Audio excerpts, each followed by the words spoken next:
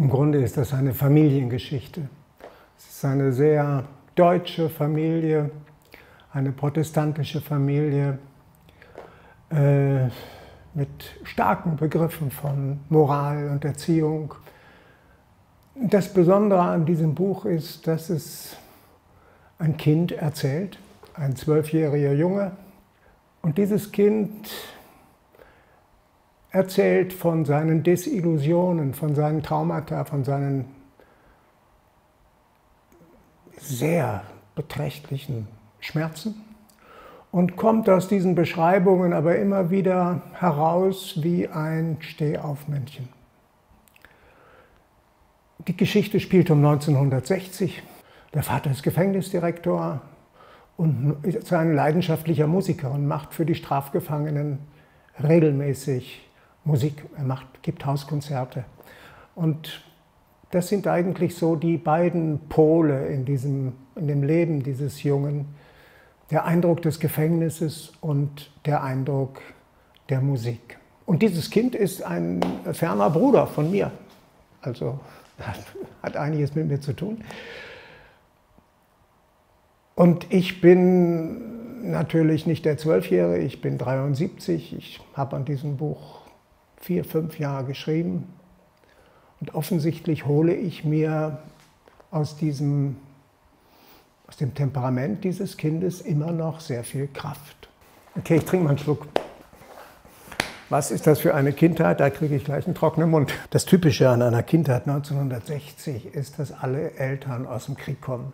Sehr unterschiedliche Erlebnisse haben, aber letzten Endes ein gemeinsames Erlebnis des Zusammenbruchs der, äh, und eines Zusammenbruchs, der von den meisten als Erniedrigung empfunden wurde und damit überhaupt nicht zurande kommen. Ich kenne zum Beispiel von meinen Klassenkameraden, nicht von den Mädchen, aber von den Kameraden, niemanden, der nicht äh, zu Hause geschlagen worden ist. Ich kenne auch niemanden, der nicht in der Schule geschlagen worden ist in dieser Zeit. Sehr, wenn man sich das so vorstellt, mit äh, Reitpeitsche oder Gartenschlauch oder Rohrstock.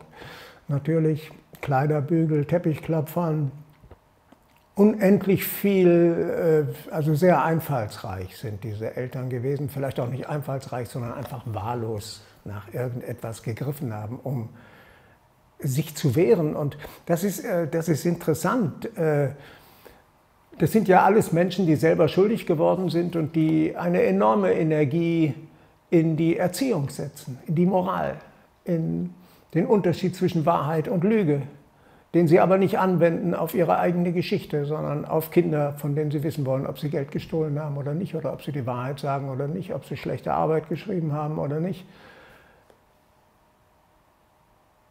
Das ist interessant. Warum habe ich mir dieses Kind ausgesucht? Das ist ähm, sicher nicht freiwillig. Ich wusste, das glaube ich immer, dass ich schreiben wollte. Und, aber nicht genau wie.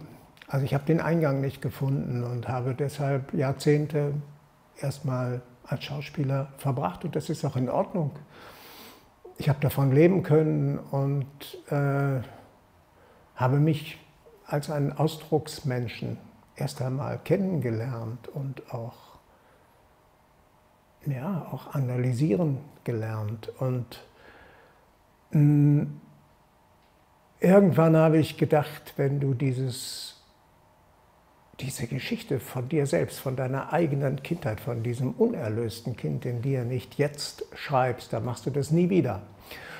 Zunächst einmal habe ich mehr an das besondere äußerliche Setting gedacht zwischen Jugendgefängnis und klassischer Musik und das ist ja schon alles und auch diesen älteren Brüdern, äh, die äh, mit ihren Eltern diese politischen Diskussionen führen und einem kleinen, relativ machtlosen, aber hellwach beobachtenden frechen äh, Jungen dazwischen, der Ähnlichkeit mit mir hat. Äh, aber je dichter ich dran gekommen bin, Und je mehr ich geschrieben habe, desto mehr habe ich natürlich gemerkt,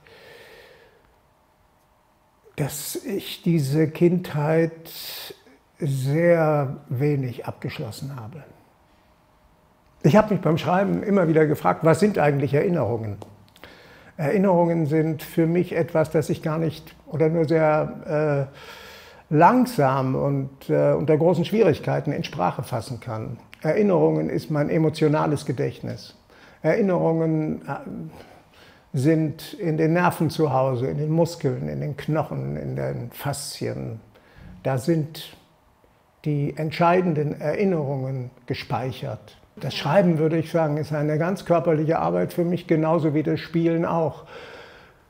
Äh, das sind eigentlich, es eigentlich geht um die Wiederbelebung von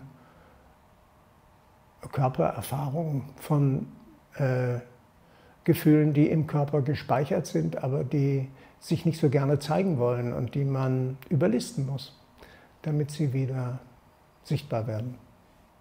So, das wäre in ganz wenigen Worten mein Buch.